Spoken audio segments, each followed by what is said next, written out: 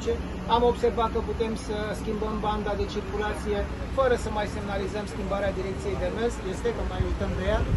Uneori mai facem economie de vechi, cum spun alții, alții spun că bun, merge și așa. E, nu, trebuie să ne reîntoarcem cumva la obiceiurile care sunt într-adevăr corecte, trebuie să respectăm cu totul normele rutiere pentru că o facem în primul rând pentru siguranța noastră. Atenția trebuie să rămână concentrată permanent asupra drumului, pentru că, vedeți dumneavoastră, da, cu toții avem telefoane mobile, cu toții avem o problematică destul de complexă, fie că e vorba de probleme la locul de muncă, fie că este vorba de probleme în familie și așa mai departe. Însă, uh, utilizarea telefonului mobil poate duce la uh, momente de neatenție, momente care uh, se pot suprapune cu uh, o greșeală a altui participant la trafic, în context în care se produce accidentul de circulație. Uh, în general, creierul uman este capabil de multitasking, cum ne place nouă să spunem, da? deci poate prelucra simultan mai multe categorii de informații.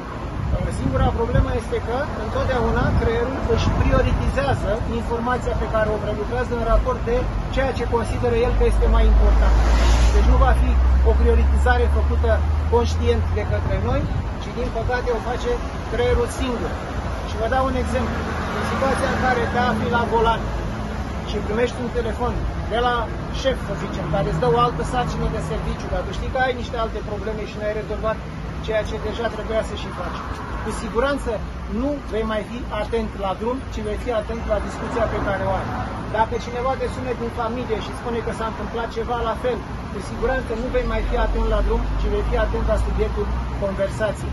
Primul lucru care dispare, ca să zic așa, în acest moment este vederea periferică, da? Se atenuează, nu mai vezi ce se întâmplă pe marginea drumului, locul de unde de regulă apar pericolele, că este vorba de un copil care uh, aleargă după o minge, că e o traversare neregulamentară și așa mai departe.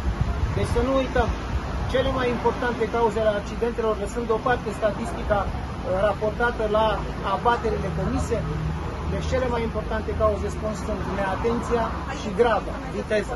Dacă lucrurile acestea se suprapun, cauzele de accident sunt aproape prezente.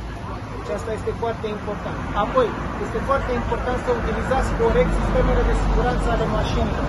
Gândiți-vă că în momentul de față... de accidente cu mașinile de aici. O să trebuiască să plece niște colegi la un accident. Tot vorbim despre producerea accidentelor. Deja s-a întâmplat unul, da? Deci trebuiască să intervină undeva la după. Da, și alți colegi la o alcoolemie. Da?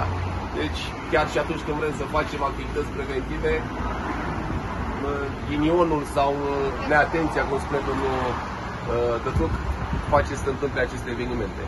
Mulțumim pentru da, da, da, da, o să meargă colegii noștri cu toate detaliile când ajung la fața locului. Ce zonă s-a produs? Undeva la Bucur. Undeva la Bucur. Mulțumesc.